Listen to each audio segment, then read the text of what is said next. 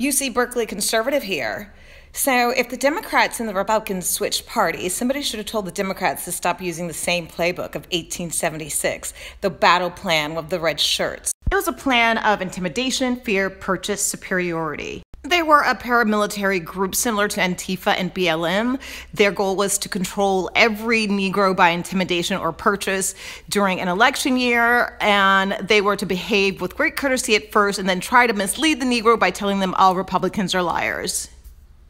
Liberals will say Trump has lied 8,000 times, but when you push them and say, what has he lied about, they have no clue.